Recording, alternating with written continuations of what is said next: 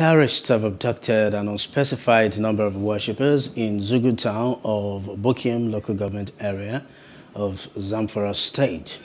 The terrorists invaded the town while residents were observing Friday Jamaat prayers and started shooting sporadically before abducting the worshippers. According to sources from the community, one of the residents, Habibu Idris, was shot during the attack and is currently receiving medical treatment. A resident, Ali Zogu, said the whole community has been deserted due to the attack.